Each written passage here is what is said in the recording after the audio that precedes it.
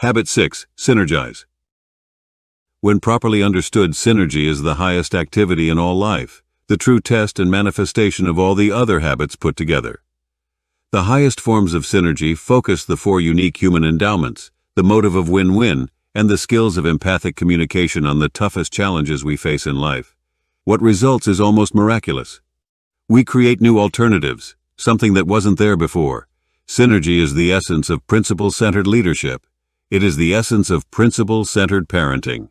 It catalyzes, unifies, and unleashes the greatest powers within people. All the habits we have covered prepare us to create the miracle of synergy. What is synergy? Simply defined, it means that the whole is greater than the sum of its parts. It means that the relationship which the parts have to each other is a part in and of itself. It is not only a part, but the most catalytic, the most empowering, the most unifying, and the most exciting part. The creative process is also the most terrifying part because you don't know exactly what's going to happen or where it is going to lead. You don't know what new dangers and challenges you'll find. It takes an enormous amount of internal security to begin with the spirit of adventure, the spirit of discovery, the spirit of creativity. Without doubt, you have to leave the comfort zone of base camp and confront an entirely new and unknown wilderness. You become a trailblazer, a pathfinder. You open new possibilities, new territories, new continents, so that others can follow. Synergy is everywhere in nature. If you plant two plants close together, the roots commingle and improve the quality of the soil, so that both plants will grow better than if they were separated. If you put two pieces of wood together, they will hold much more than the total of the weight held by each separately. The whole is greater than the sum of its parts. One plus one equals three or more. The challenge is to apply the principles of creative cooperation, which we learn from nature, in our social interactions. Family life provides many opportunities to observe synergy and to practice it. The very way that a man and a woman bring a child into the world is synergistic. The essence of synergy is to value differences, to respect them, to build on strengths, to compensate for weaknesses. When you communicate synergistically, you are simply opening your mind and heart and expressions to new possibilities, new alternatives, new options. Many people have not really experienced even a moderate degree of synergy in their family life or in other interactions.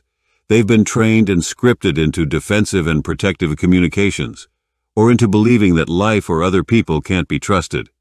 As a result, they are never really open to Habit 6 and to these principles.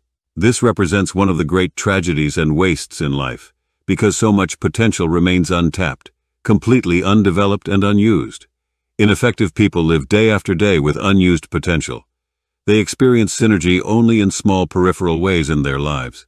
They may have memories of some unusual creative experiences, perhaps in athletics, where they were involved in a real team spirit for a period of time. Or perhaps they were in an emergency situation where people cooperated to an unusually high degree and submerged ego and pride in an effort to save someone's life or to produce a solution to a crisis. To many, such events may seem unusual, almost out of character with life, even miraculous. But this is not so. These things can be produced regularly, consistently, almost daily in people's lives. But it requires enormous personal security and openness and a spirit of adventure. Almost all creative endeavors are somewhat unpredictable. They often seem ambiguous, hit or miss, trial and error. And unless people have a high tolerance for ambiguity and get their security from integrity to principles and inner values, they find it unnerving and unpleasant to be involved in highly creative enterprises. Once people have experienced real synergy, they are never quite the same again. They know the possibility of having other such mind-expanding adventures in the future. Synergy is exciting. Creativity is exciting. It's phenomenal what openness and communication can produce. The lowest level of communication coming out of low-trust situations would be characterized by defensiveness, protectiveness, and often legalistic language, which covers all the bases and spells out qualifiers and the escape clauses in the event things go sour. It isn't effective and it creates further reasons to defend and protect. The middle position is respectful communication. This is the level where fairly mature people interact. They have respect for each other, but they want to avoid the possibility of ugly confrontations. So they communicate politely but not empathically.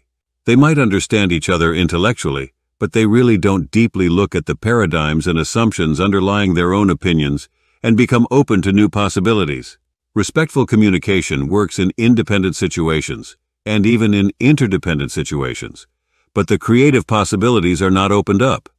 In interdependent situations, compromise is the position usually taken. The synergistic position of high trust produces solutions better than any originally proposed, and all parties know it. Furthermore, they genuinely enjoy the creative enterprise. A mini-culture is formed to satisfy in and of itself. Even if it is short-lived, the balance is there. Uh, there are some circumstances in which synergy may not be achievable and no deal isn't viable. But even in these circumstances, the spirit of sincere trying will usually result in a more effective compromise.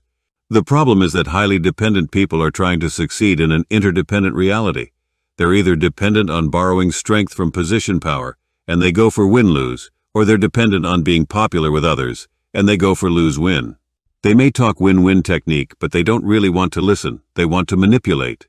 And synergy can't thrive in that environment. Insecure people think that all reality should be amenable to their paradigms. They have a high need to clone others, to mold them over into their own thinking. They don't realize that the very strength of the relationship is in having another point of view. Sameness is not oneness. Uniformity is not unity. Unity or oneness is complementariness, not sameness. Sameness is uncreative and boring. The essence of synergy is to value the differences. I've come to believe that the key to interpersonal synergy is intrapersonal synergy, that is synergy within ourselves. The heart of interpersonal synergy is embodied in the principles in the first three habits, which give the internal security sufficient to handle the risks of being open and vulnerable. By internalizing those principles, we develop the abundance mentality of win-win and the authenticity of Habit 5. One of the very practical results of being principle-centered is that it makes us whole, truly integrated.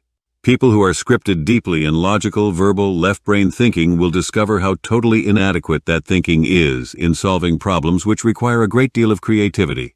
They become aware and begin to open up a new script inside their right brain. It's not that the right brain wasn't there, it just lay dormant. The muscles had not been developed, or perhaps they had atrophied after early childhood because of the heavy left brain emphasis of formal education or social scripting. When a person has access to both the intuitive, creative, and visual right brain, and the analytical, logical, verbal left brain, then the whole brain is working.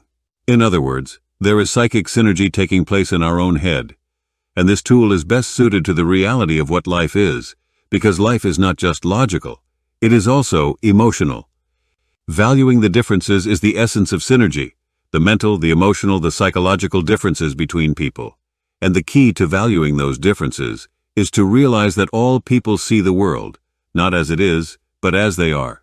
The person who is truly effective has the humility and reverence to recognize his own perceptual limitations and to appreciate the rich resources available through interaction with the hearts and minds of other human beings. That person values the differences because those differences add to his knowledge, to his understanding of reality. Is it logical that two people can disagree and that both can be right? It's not logical, it's psychological. And it's very real. You see the young lady, I see the old woman, we're both looking at the same picture and both of us are right. We see the same black lines, the same white spaces, but we interpret them differently because we've been conditioned to interpret them differently. And unless we value the differences in our perceptions, unless we value each other and give credence to the possibility that we're both right, that life is not always a dichotomous either-or, that there are almost always third alternatives, we will never be able to transcend the limits of that conditioning. Ecology is a word which basically describes the synergism in nature. Everything is related to everything else. It's in the relationship that creative powers are maximized, just as the real power in these seven habits is in their relationship to each other, not just in the individual habits themselves. The relationship of the parts is also the power in creating a synergistic culture inside a family or an organization. The more genuine the involvement, the more sincere and sustained the participation in analyzing and solving problems, the greater the release of everyone's creativity and of their commitment to what they create.